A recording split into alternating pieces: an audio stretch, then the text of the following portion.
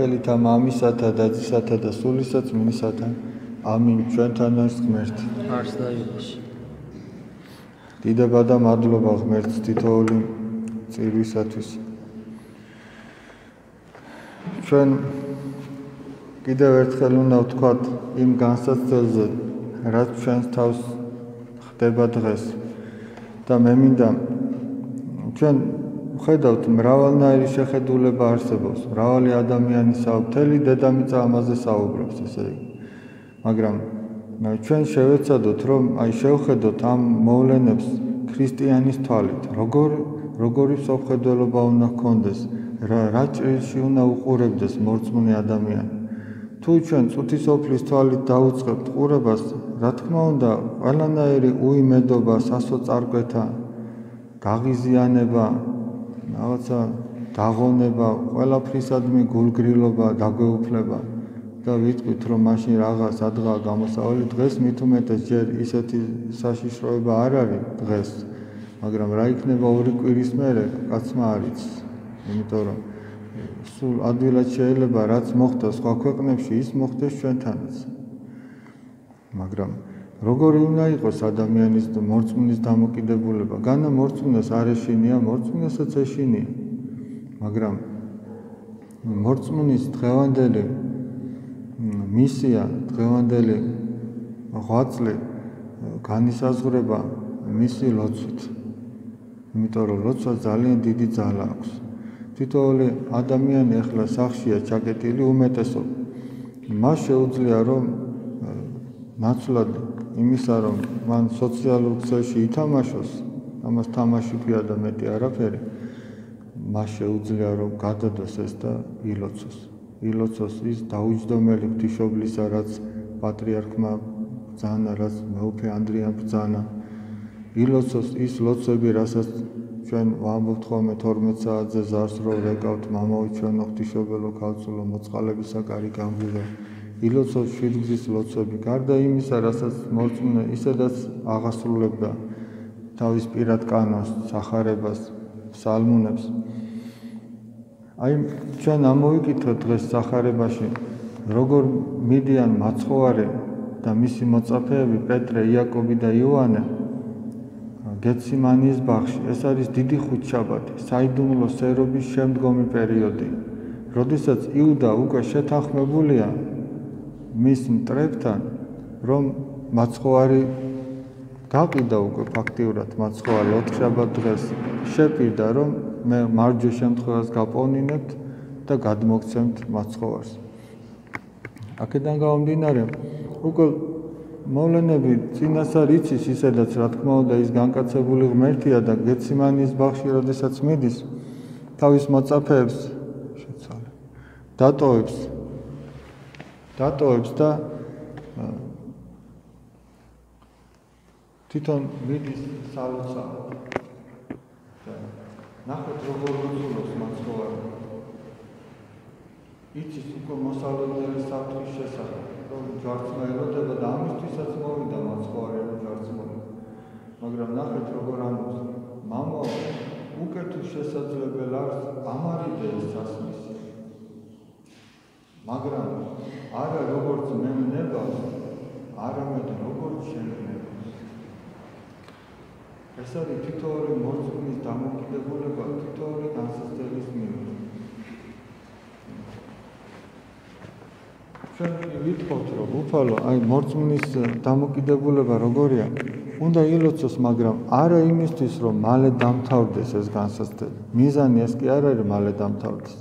არამედ მიზანი ის არის, რომ როგორც შენ გნებავს უფალო ოღონდ ჩვენ ღირსეულად გამოგიყვანი აქედან ან თუ გარდაცვალება ღირსეულად გარდავიცვალოთ ერთხელ რომ უნდა გარდაიცვალოს ადამიანი ეს ხო ისედაც იცის როგორღაც რომელიღაც დროს ზოგი ასე ზოგი ისე. ეს ხო უნდა მოხდეს ისედაც მაგრამ აი ნახეთ მოცხვარი ამბობს. ამარიდე უფალო ეს სასმისი თავის ზეციერ მამას მიმართავს ოღონდ არა როგორც მე ვნებას, არამედ როგორც შენ გნებას. აი ეს არის თითოეული მორწმუნის დამოკიდებულება.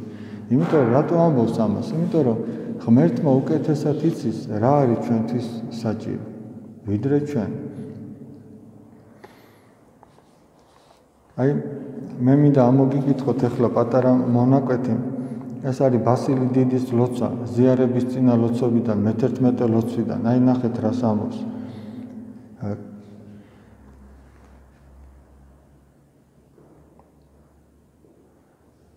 კაცი ამავებასა მიემსგავსა ანუ ადამიანი ამავებაშია ჩაფლული ჩაძირულია მთლიანად ამავებაში და თიხაი თვით განწმენდად ვერ შემძლებელი არის. თიხა ვინ არის? ადამიანი თიხისაგან არის და საკუთარი თავის განწმენდა მას არ შეუძლია. ამისთვის ვითარცა უწყი და ვითარცა გნებავს. ანუ ნახეთ როგორ მიმართავს, როგორც იცი და როგორც გნებავს. იმიტომ რომ მე არ ვიცი როგორ უნდა მინდოდეს, როგორ უნდა მნებავდეს. მე არ ვიცი ჩემი თავი როგორ ვაცხოვნო, იმიტომ რომ ადამიანი ვარ, თიხა ვარ და თიხა კიდე თავის თავს ვერ განწმენს. ვითარცა უწყი და ვითარცა გნებავს. გამწმინდე და მაცხოვნე რათა არა იქადოს მტერმან ჩემან ჩემზედა რომ მტერმა არ დაიქადოს მტერმა არ დამცინოს არ იამაყოს ჩემი დაცემით. ვინ არის მტერი ეს არის დაცემული ძალა თითოეული ადამიანის ცხონების მოწინააღმდეგე ნუს ძლევენ უფალო ცოდვაი ჩემი წყალობასა შენსა. ანუ ჩემი ცოდვა ნუს ძლევს შენს მოწყალებას. არამედ შენი მოწყალება უფრო დიდი იყოს. არამედ წყალობით შემიწყალე მე. და პირველ სიკვდილისა ანუ შენი წყალობით შემიწყალე და სიკვდილამდე მომადლე ნაკადული და წყარო იცრემთ. რომ ისი არ გარდავიცვალო რომ სინანული არ მქონდეს ეხლა ადამიანი, რომელსაც არანაირი განსაცდელი არ აქვს, დახენილად ცხოვრობს, შვება განცხრომით, აღვირახსნილობით, ის არც კი შეიძლება დაფიქრდეს, სულ ჯამთელი იყოს 100 წლამდე.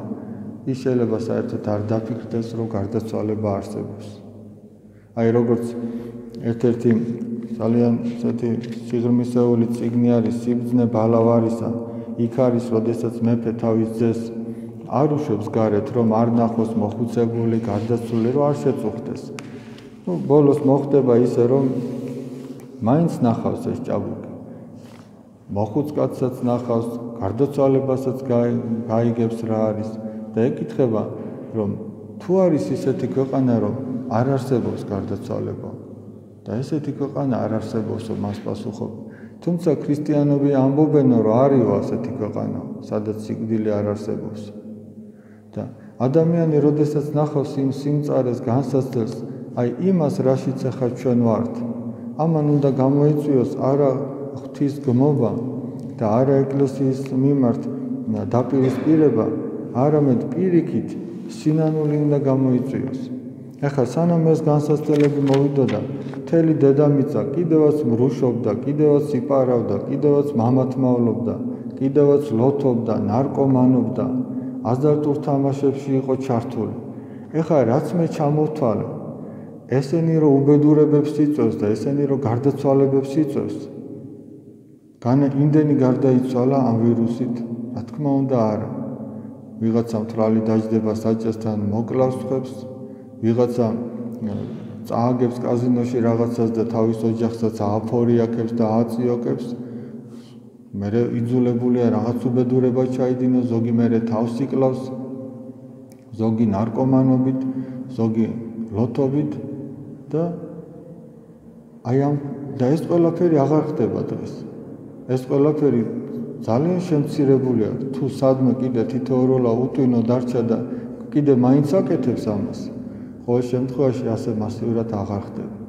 დაიკეტა ეს გარყვნილების სახლები. ესე იგი, ხე ناقოფით იცნობა. ახლა ვინმე მისი არ გადათარგმნოს, რომ ჩვენ ეს მოგწონს და გვიხარი არ მოგწონს, სხვადასხვა შეიძლება ჩვენს დავსნეულდე და ჩვენს გარდავიცოლოთ, მაგრამ ქრისტიანი ამის გამო არ უნდა იყოს უიმედოდ, რომ მოვკვდეთ. გეციმანის ბაღში, როდესაც მაცხოვარი ლოცულობს, მასაც ეშინია, იმიტომ რომ ისიც ადამიანია. წმინდა იოანეს სინელი ამბობს: მაცხვარსო შეეშინდაო მაგრამ არ შეძრწუნებულა. ამითიო მან ორივე ბუნების თვისებები გამოავლინა. შეეშინა როგორც ადამიანს, მაგრამ არ შეძრწუნებულა. იმიტომ რომ შეძრწუნებაო ის ამბობს მე. მოუნანიებელი ცოდვების ბრალია. ესე იგი, ვინ არის შეძრწუნებული?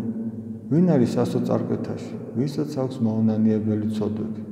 ვინც ღმერთთან შერიგებულია და ვინც იცის რომ ეს წუთისოფელი დროებითია გალაღებულისთვისაც და დამწუხრებულისთვისაც მან იცის რომ ეს საშიში კი არის მაგრამ ეს არ არის სასოწარკვეთილების მიზეზი. აი ამაშია საქმე და დღეს ცოდვების შემცირდა.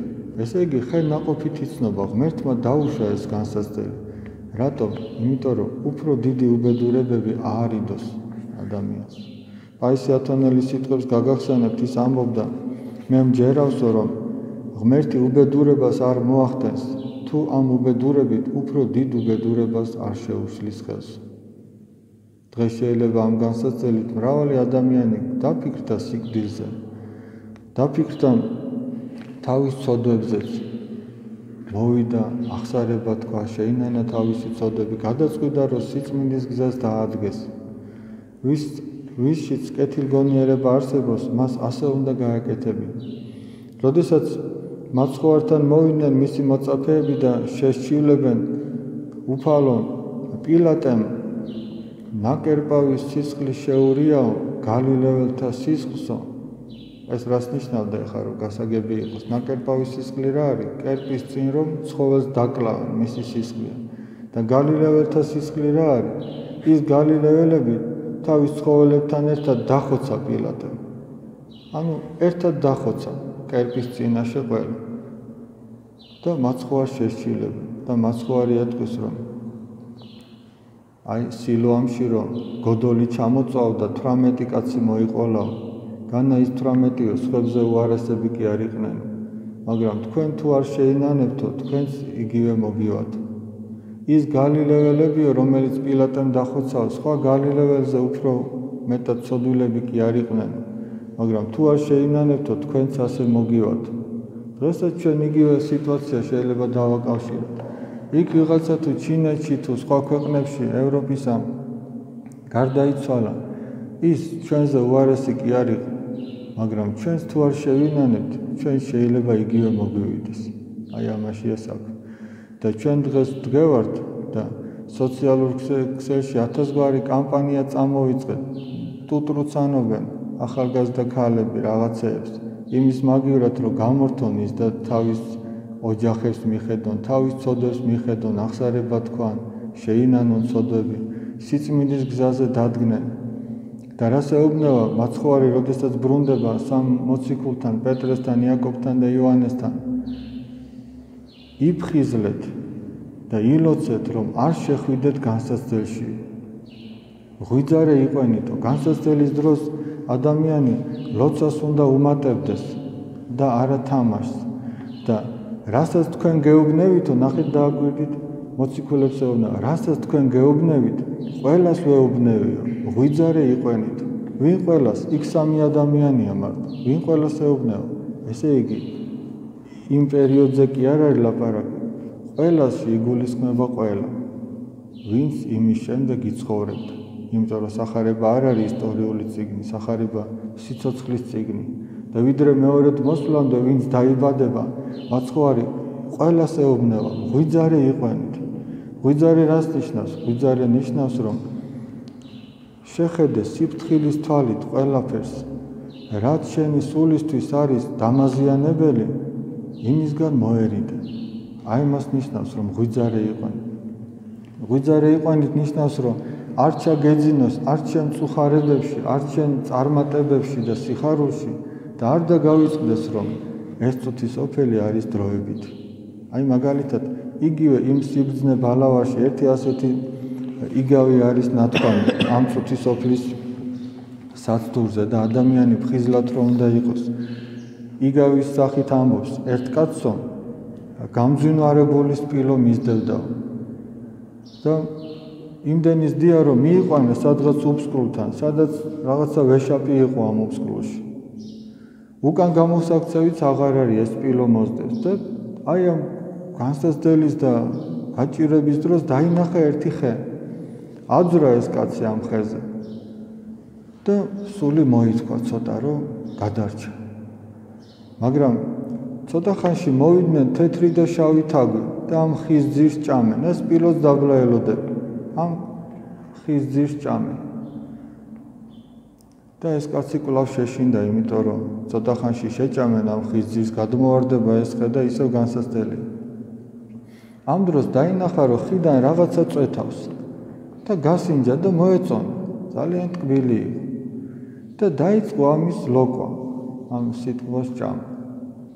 და ამ სიტყვას რომ შეექცა დაავიწყდა ის უბსკრულიც, დაავიწყდა ის პილოტს, დაავიწყდა ის თეთრი და შავი თაგვებიც. და დაიწყო ამ სიტყვას ჭამა. ამ დროს შეჭამეს თაგვებმა ეს ხე, გადმოვარდა ეს ხე და ამ სპილომ ჩააგდო ეს კაცი ამ უბსკრულში. ეხლა ეს იგაურად არის ნათქვამი და რას ნიშნავს? თითოეულ ადამიანს როგორც გამძინვარებული სპილო სიგდილი მოგდებს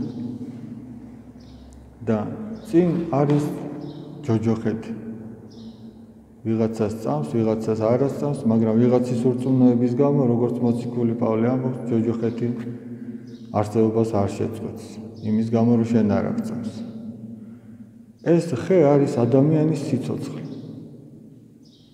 თეთრი და შავი თაგვები არის დღე და ღამე. რომელიც ჩვენი ცხოვრების ხანგრძლივობას ნელ-ნელა ჭამე. და ის სიტყვება, რასაც ადამიანი შეექცა, ეს ამ წუთის ოფლის წოდებია, რომლის სიტყვებაც ატყუებს ადამიანს, ჩაიფრობა ამ წოდებში და დაავიწყებს, რომ ეს წუთის ოფელი ხანმოკლეა, რომ გადის დრო ამას დაავიწყებს. დრო გადის და დრო იწურება. ამიტომაც არის ნათქვამი რომ ღვიძარე იყვენით.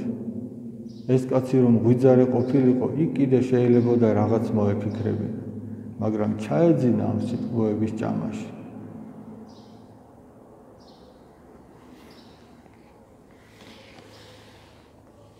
მორწმუნე ადამიანს არ უნდა ექცეს ეს განსასწრელი სასოწარკვეთა. თუნდაც ჩვენს დავავადდეთ. თუნდაც ჩვენი ოჯახის წევრი ვინც არ უნდა იყოს.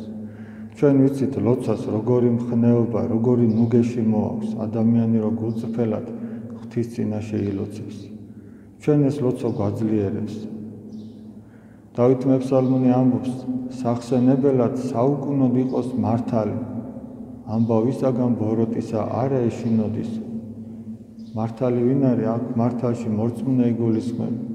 სახსენებელად საუკუნოდ იყოს მართალი. ამბავისაგან ბოროტისა არა ეშინოდეს და მორწმუნეს არ უნდა ეშინოდეს აი ამ განსასწრების. უფალი რასაც დაუშვებს ჩვენზე, ჩვენ უნდა გწამდეს, რომ ჩვენი სული საკურნებლად არის. ჩვენ არ ვიცით ეს განსასწრელი რამდენი ხანი გაგრძელდება. ვიღაცა შეიძლება ვეღარც გავიდეს ამ განსასწრელიდან, ამ განსასწრელში აღესრულოს. მაგრამ თავარია კიდევ ერთხელ ამბობ, ჩვენ სახარების ეულად შევხედოთ აი ამ მოვლენებს. რომ თუნდაც გარდაიცვალოს ადამიანი. ეს გარდაცვალება დამთავრებას არ ნიშნავს ეს გარდაცვალება ნიშნავს დაწყებას მარადიული ცხოვრებისა. და როგორ ღირსეულადაც გარდაიცვლება ადამიანი ისეთივე სასიხარულო ექნება მას მარადიული ცხოვრება. ასე რომ ჩვენი ვალი რა არის ახლა მორწმუნეების? ჩვენ კი გარედან ვიგიჟინებენ ამბობენ ერთ-ერთი ამბობდა კიდეც, თუმცა ეს ყველანი რა სახელების და გვარების მქონენიც არ უნდა იყვნენ. ეშმაკის მოციქულები არიან. სანამ ისინი ამ მოციქულობას თავს არ დაანებენ. ეშმაკი ლაპარაკობს ყველა მათი პირით და ამბობს, რომ ეს ჩამორჩენილები არიან. ეს მე-13 საუკუნის ეკლესია მგონია. ეკლესია დღესაც იგივეა, რაც მე-13 საუკუნეში იყო და რაც პირველ საუკუნეში იყო. იგი ერთმენის სიმტკიცით დგას. და რომ ვერაფერს ვერ უშვებიან ეს აღიზიანებთ კიდე. მაგრამ ჩვენ ნიშნის მოგებით არ უნდა ვთქვათ არაფერ. მაგრამ ჩვენ რაც გვწამს ის უნდა გვწამდეს. შეურყევლად უნდა გვწამდეს. და უპირველეს ყოვლისა ჩვენ უნდა გავითვალისწინოთ ჩვენი ეკლესიის და ეკლესია ვინა ვარ ჩვენ ვართ ეკლესია. ეკლესიის წევრნი ჩვენ ვართ წმინდა კვიპრიანე კართაგენელის სიტყვებს გაგახსენებთ. ვისთვისაც ეკლესია დედა არ არის, მისთვის ღმერთი мама ვერ იქნება.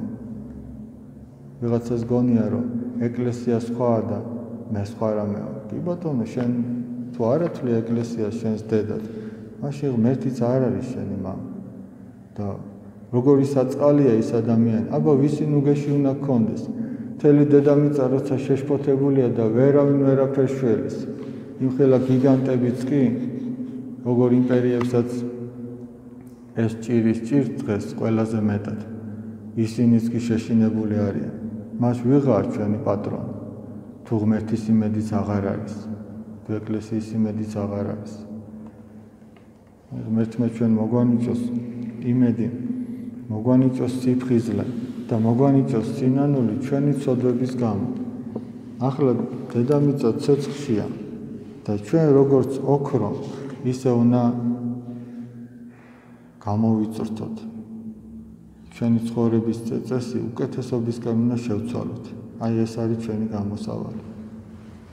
ღმერთი შეგვეციოს და ღმერთმა დაგვეცოთ